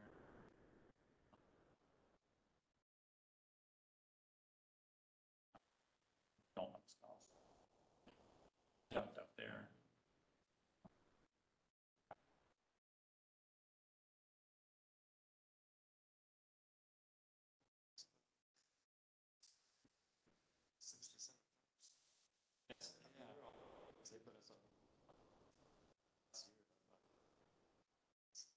Yeah, I think our ops director is saying forty was his vaccine.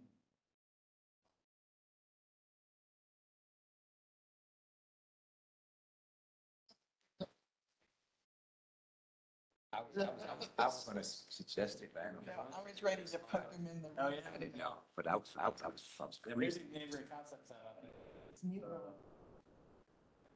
All right, okay.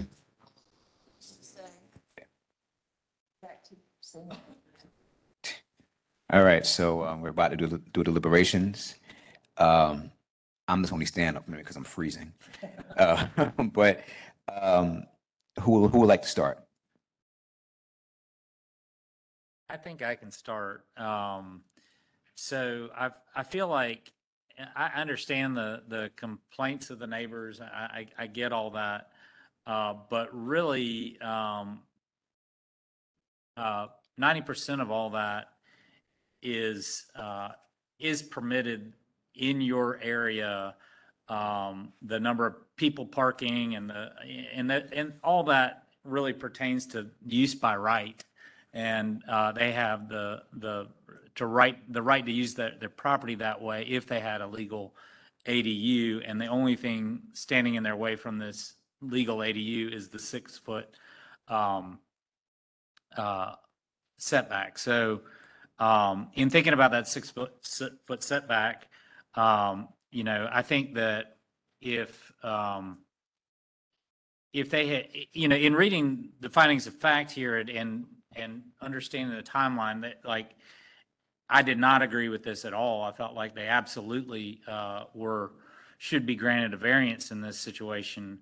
Um, the, and I think a, an unnecessary hardship would certainly be, uh, having to, uh, reverse construction. I, I don't think it is, um, uh, I don't think it's a, I don't think it's reasonable to assume that somebody could move a compliant building or, uh, or construct a compliant building when they're dealing with existing construction.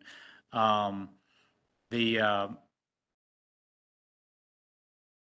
you know, so that there's things specific about the property, I think, that, that result in the, in the hardship. I think their request is, is consistent with the spirit and purpose of the zoning ordinance, but I really think the actions of the applicant, uh, created this hardship and that that action, and which is not reflected in the findings of fact, unfortunately, is that they began significant upfit of a structure uh, without a zoning, uh, without, without a building permit whatsoever. Uh, You know, and I think that a case could be made for a, a- an honest and diligent application of a building permit um, and, and having been issued um, in error as a garage upfit and, and them having a legitimate hardship. But I think anyone um, that is upfitting a structure to the extent that they're upfitting, um, I think, I think it's reasonable to assume that they should have a building permit for that, that extent. And so uh, I feel like they, they got themselves 90% down the road into this existing condition uh, And so they, they, they've kind of inflicted this on themselves in that situation. So I, I would, um, I'm not leaning toward, uh, granting this variance. Uh, Mr. Hamid? Yeah, I agree uh, with all that's been said thus far. Um, it, this does kind of remind me of a, another case that we heard recently. Again, not apples to apples, but kind of similar, where you know, general contractor comes in and the intent of the homeowner is to do the right thing. General contractors, uh, you know, that is part of the due diligence. Homeowners should do their due diligence, but uh, it's a complicated system that we have, especially when it comes to ADUs and zoning. And sometimes people aren't experts, and that's why they go out and hire a general contractor. And, you know, they shift the, the responsibility, but they don't technically shift the legal responsibility that they have. Um, all that being said, again, um, it's interesting to hear, uh, the, you know, the impact of an ADU and how this is going to start to change the dynamics of these single-family neighborhoods, especially as we move into other, uh, zoning and, the UDO. So it's interesting to hear through some of the impacts uh, It's, it's also interesting to hear from the neighbors uh, in opposition uh, that it's less about the ADU as it is about the process they went through and also the impact, right? The parking, the safety. Uh, I hear all those concerns and some of those, you know, we can rectify through just doing the right thing. And it's important as we move into um, the UDO to understand the impact of what we're doing uh, to these neighborhoods. Uh, All that being said, I do think, uh, although it is the responsibility of the homeowner to do their due diligence. I do think based on some other cases we heard, um, that they were just misinformed by the, the general contractor. And for that, I kind of lean towards, uh, uh, giving them the variance in this case. Uh, Ms. Dryden? I'm, I'm, I'm very concerned about this. It, it, in the broader sense, it worries me as we move into the new UDOs.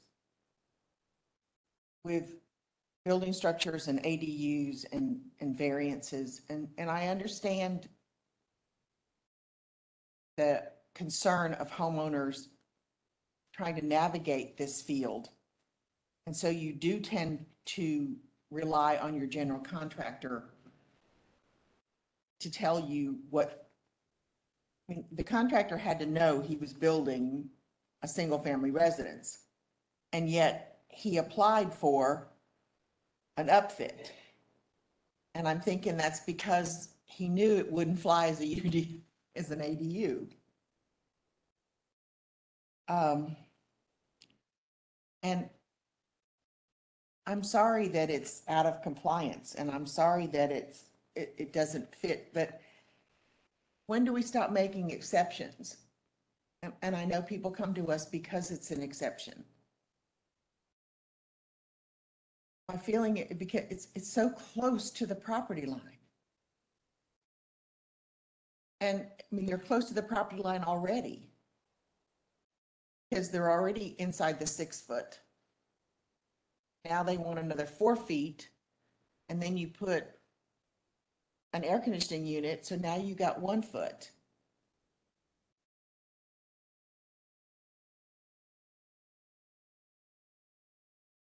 I, I don't know how I'm gonna vote.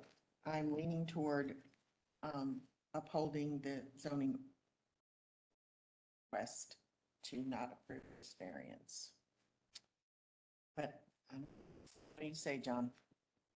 Um, I'm actually leaning towards granting it. Um, I agree with most of what has been said so far. Um, I understand the, the neighbors' concerns, but on that, I will say, like, the fact that they could do this, but for the fact that they're encroaching, to me, makes the parking issues kind of irrelevant. It, it's something that, again, we wouldn't be here, but for the fact that it's built a little in the side yard.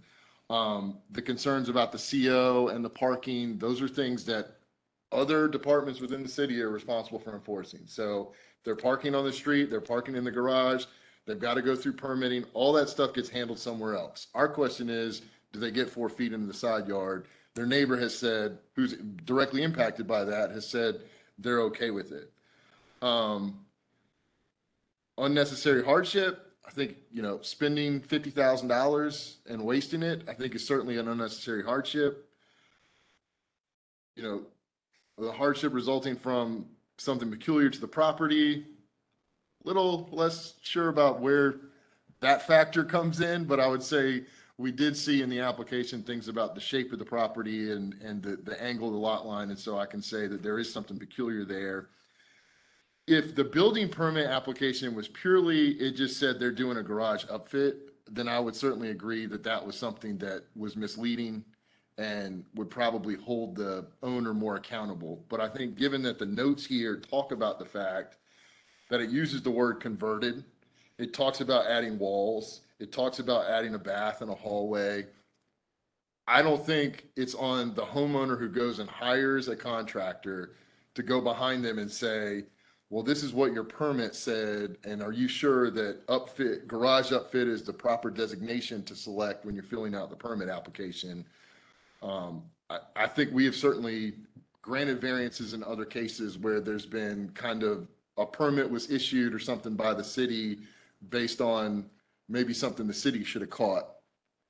Um, and then on the last point, again, I mean, I think allowing the encroachment doesn't really create any material impact. I mean, it, it's something that they could have done, but for the encroachment. So I think granting is, you know, consistent with the spirit and intent of the ordinance. So I'm inclined to grant it, but sounds like we're pretty divided on this one.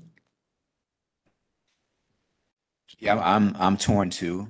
Um, like, uh, Mr. Hamid said, you know, we've seen cases like this before where the builder or the contractor will tell the applicant that, you know, everything's okay, and then next thing you know, they get a letter from the city saying that they violated the zoning permit. Um, and, um, I know the applicant, uh, said that he wanted to do this to have a house for his mom. I mean, what, what son or daughter wouldn't want to do that? Um, but again, I know we have guidelines that we have to follow, um, that's from the zoning board as well as the city. So I'm, I'm still torn. I just have to, you just have to see how it goes when we get to voting. Um, I have a legal question. Do we have the ability to put any other conditions on it that would address kind of the concerns about Airbnb or renting to three different people with three different cars? Or is there anything like that that we can do? I think that goes to the use of the property, and that's really outside uh, of your purview. Um, um, uh, since You were about to y'all say something. Kind of divided, maybe I can sort of offer a few things to think about or for discussion.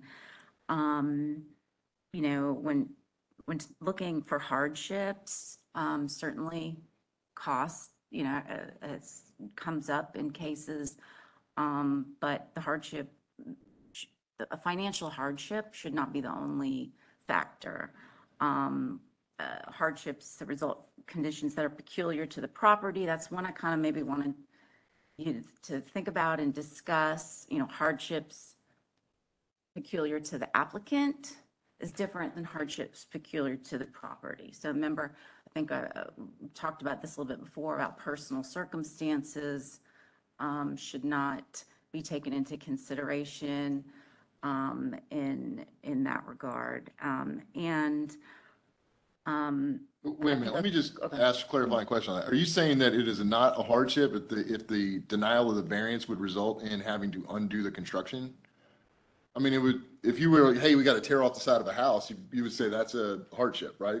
That, that there is a hardship Okay. there, and the courts have recognized that. um, But the hardship should not just be solely financial. And this board has, and a couple of you were not on the board at this time, um, but the board has required um, uh, access, or uh, the. Structures. Yes, structures to be removed that Yes. did not meet the other qualifications.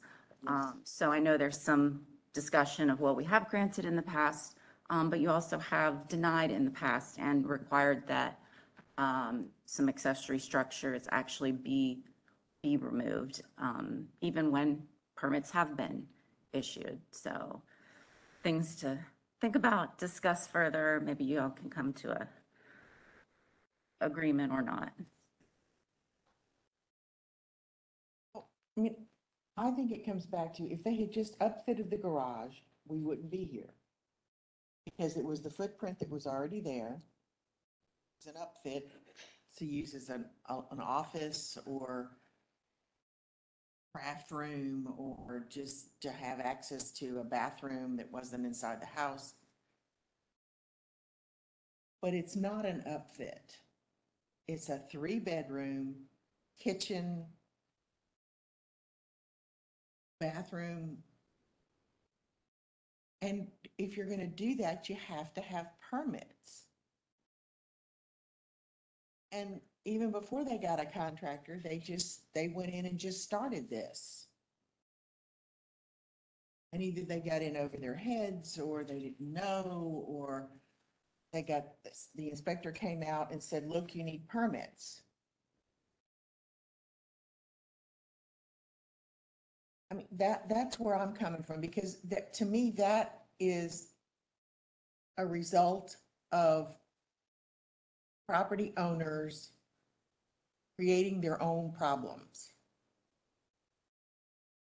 What's your definition of garage upfit? Well, that's what I asked Lisa, and she said a garage upfit could be where you heat it, I guess, and put a bathroom in to use it, but not as living space, as, uh, not permanent living space, like bedrooms and, and bathrooms and, um, kitchens, but to use it as an, an office space, I guess. Remember, if we ask, No, she's that's not. question, we gotta go into, go out and. I mean, I'm- I'm just repeating what she Okay, told me. okay. No, I'm not asking her another question. Okay. I'm saying that's what she told me. She said as a, some people use it as a home gym. Some people use it as, you know, a, a, an office space.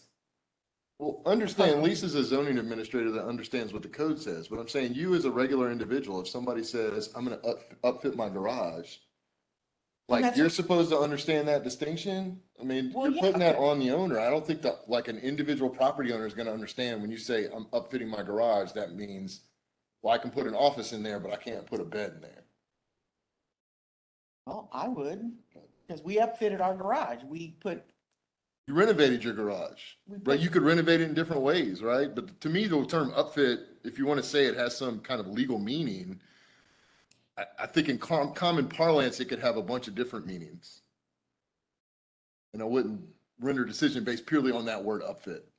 well, I'm not rendering it totally on that, but I'm not rendering it totally on that it's gonna cost them to tear it down either. I mean, what I'm saying is, there's nuances in all of this. Mm-hmm.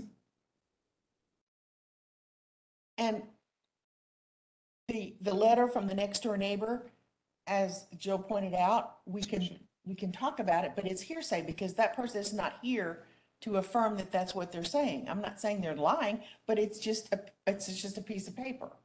They're also not here objecting either. That's true. But my feeling is you got yourself in deep water. And now they're asking us to bail the boat out after it's sinking. Because if we approve this variance, okay, it's only four feet.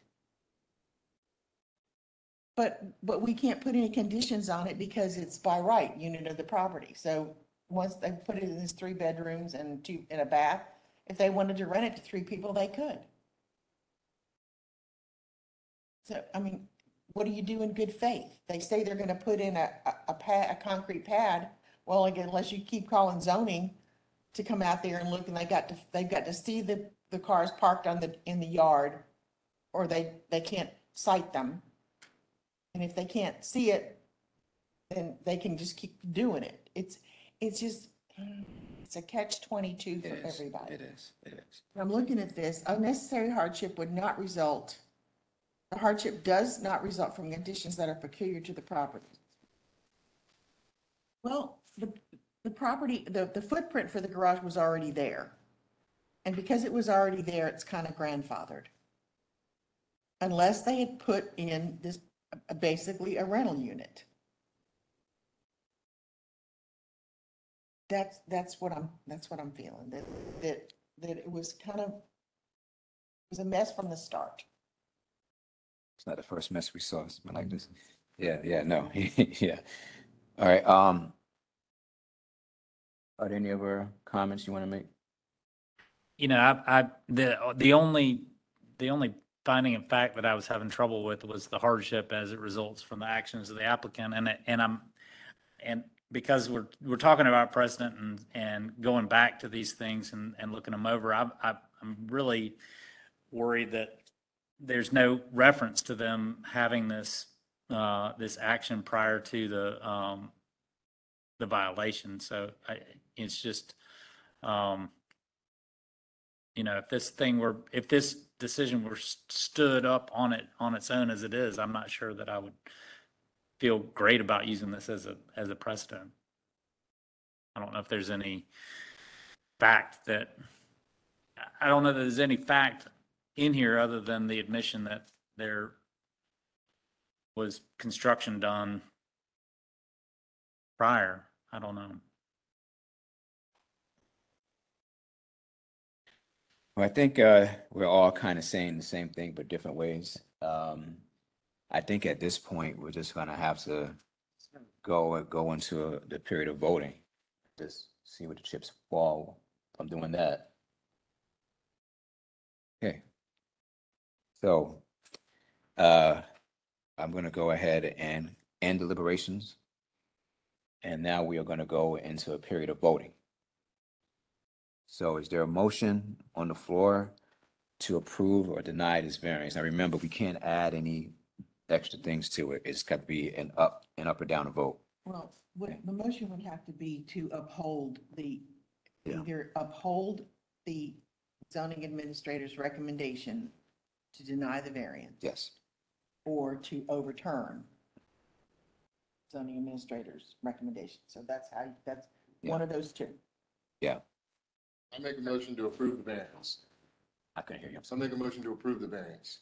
So to, to, This is either to grant or deny the variance, Yeah, not. I make a uphold or motion to grant the variance. Hamid, second. All right, To the grant the motion has variance. been made to grant the variance, and that was made by Mr. Floyd and seconded by Mr. Hamid. Now we move into a roll call vote. Mr. Hamid, Hamid, yes. Uh, Mr. Court, Court, yes. Mr. Dryden, Dryden, don't. Mr. Floyd, Floyd, yes. all right, uh, Wilson, yes. So if my math is correct, um, the, the, the variance has been approved, right? Yes, Chair. All right, okay, thank you very much. Uh, that concludes that case, but before we conclude it, before we conclude it, finish. Findings of fact, sorry. So before we conclude it, uh, we're going to go into, we have to put a finding of facts inclusive law. So paragraph ten, I think there's a typo. It says to a neighbor compliant, I think should be complaint.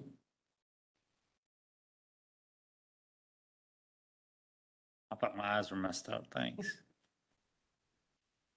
And then I think otherwise it's just addressing the conclusions of law. Unnecessary hardship would delete the word not result. The hardship delete does not and say the hardship results from. Paragraph three, the hardship does add not result from actions. And then paragraph four, the requested variance is delete the word not consistent with spirit intent, blah, blah, blah.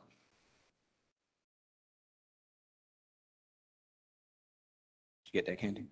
Can you repeat that real quick, John?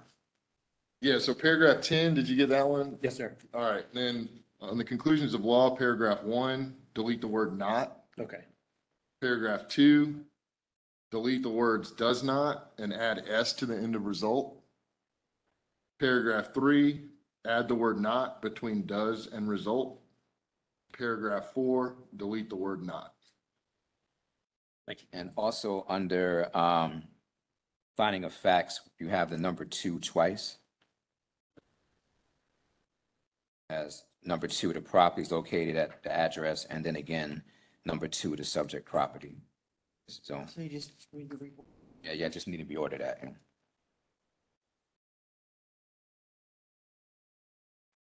Did we change twenty-five? The request is oh, consistent with, Yep, Yep, it's consistent. That's correct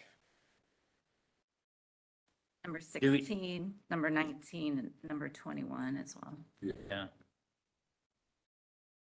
So sixteen would be the hardship does not result. And number eighteen. Did you say eighteen? Nineteen. Nineteen, Nineteen. All right, the hardship does result.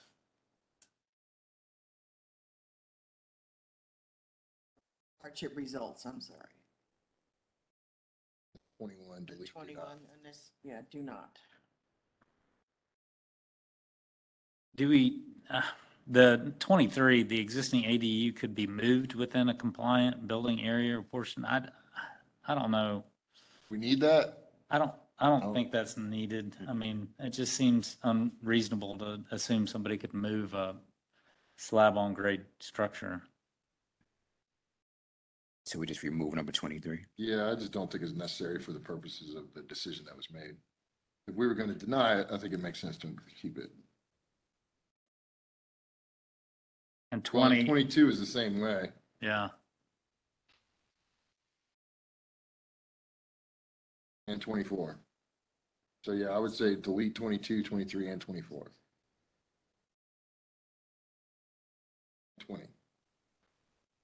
I had 20 coming out too. yeah.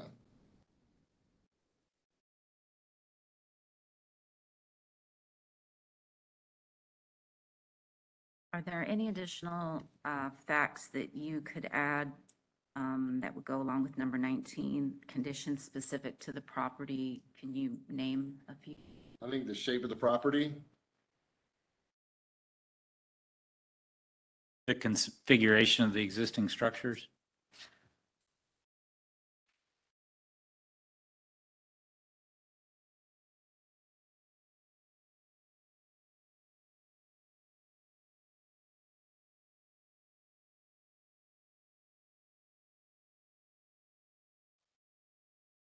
That going again? It's going at the end of nineteen. The hardship results from conditions specific to the property, semicolon, shape of the property and the configuration of existing structures. Okay.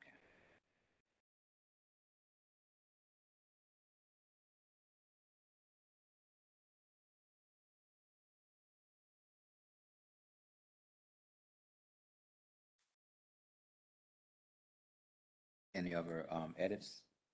Finding facts and proofs of law? Okay. Um, hearing none, is there a motion to improve the finding facts and conclusions of law as amended? I make that motion. second, A motion's been uh moved by Ms. Dryden and seconded by Mr. Floyd. Now moving to a roll call vote. Mr. Floyd, Floyd, yes. Ms. Dryden, Dryden, yes. uh, Mr. Court, Court, yes. Mr. Hamid, Hamid, yes. Wilson, yes. Thank you very much. Uh, last thing on the agenda is the approval of the January minutes. Uh, so Everybody should have a copy of that. I can vote on that, right, even though I wasn't here? Making sure. That was, that I was. ask that every time. As long as you All right, uh, approve is there a motion to approve, uh, thirty-first, twenty twenty? Move to approve. Oh, whoops. Yeah. No, Can't approve that. The wrong dates are at the top. It should be twenty twenty-three. What minutes?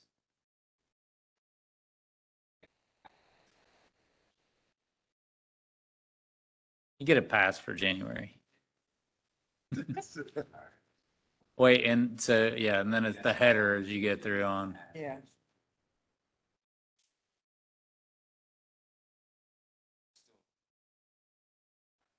Yeah, approve. Subject to that amendment? Yeah. All right, is there a motion to? It's as amended. So moved? Second, Is there a second? second. Second by Mr. Floyd. Mr. Floyd, Floyd, yes. Ms. Dryden, Dryden, yes. Court, yes. Hamid, yes.